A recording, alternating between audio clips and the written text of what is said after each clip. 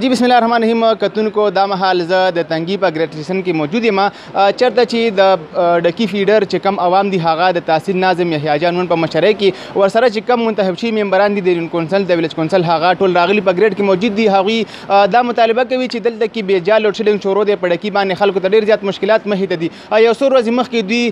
دلته کې په ډکی کې درنه هم ورکړې وای احتجاج هم کړو په هغه کې ورسره انتظامیه چې کم مذاکرات کړي په کوم خبرو هغوی احتجاج ختم کړو هغه مطالبات د دوی اوسه پورې ونه منل شو تر اوسه پورې دوی له د وابډې چې کوم واکداران دي هغه هم دلته ګریډ ته نه راغلي کایک سین نه اس ډیو د هغوی دوی له اوسه پورې نه راغلي دوی په ګریډ کې یو پر امن درنه ورکوي او وایي چې د سړک په ځای باندې موږ دلته درنه ورکو او دلته چې کوم انتظامیه هغه به موږ راځي او زموږ سره به خبرې ترې کوي زموږ چې کوم مطالبات دي هغه به مني ګورو به زموږ موږ د دې درنې چې کوم مشر دی هغه سره به خبرې ترې کوو چې پر حق له دوی سویل غواړي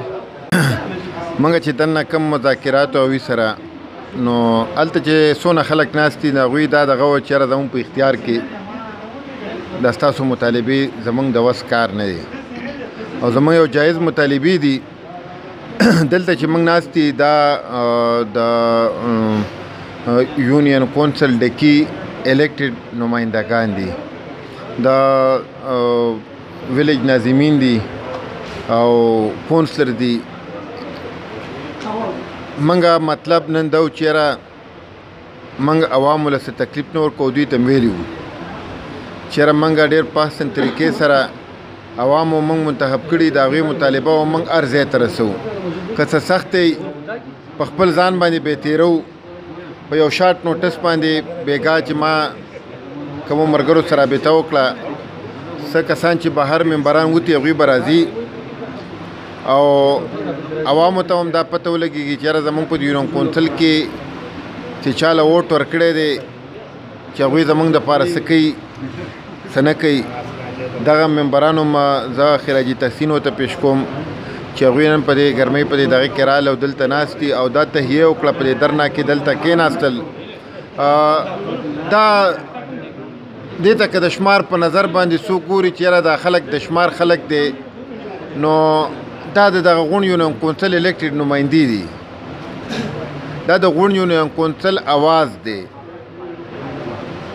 نو موږ انتظامیه تم دا وی چیرې که تاسو دا غواړی چیرې موږ په سړک باندې تاسو خپه کیږئ چې په سړک باندې مو درېږئ دفتر ته چې ورشو په غیم خپه کیږئ ګریډ تراویلو په ګریډ کې خپل आवाज د حکومت اعلی چارواکو ته رسوو چې کوم ظالمانه لوډ شیډنګ په د پیلډر باندې کیږي دا غي خلاف په تر دا غټیمه پورې ناشتي چې د کم ټیمه پورې زمنګا مطالبه دا عملی تور نه یل شوی عملی تور نه یل شوی تش په مذاکراتو چا سره خبره نه کو چیرې و بشي چې عملی تور حل شولا بس موږ به خپل کورونو ته ځو کنه هم دې ده کې بناستي منګه عوام لا د سره کال نه دی ورکړی نه مرته ویلی نم کلی کې دا دغه کړی عوامو ته چیرې منګ رواني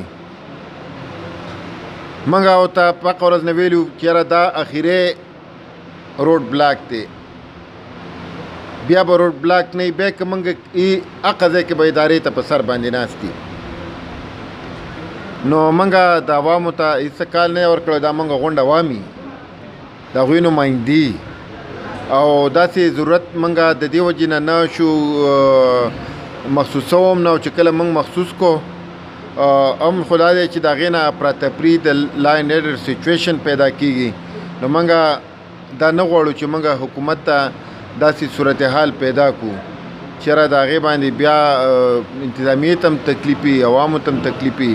نو دا غي د وجې نه موږ راغلی دي ته کې پرمن په یو خطرې قیصره خبره کوو دا اوس د موږ به دا وایو چې دا بال د انتظامیه او د وابې د ادارې په کوټ کې دی چې هغه پرمن د عوامو نماینده سره څه سلوک کوي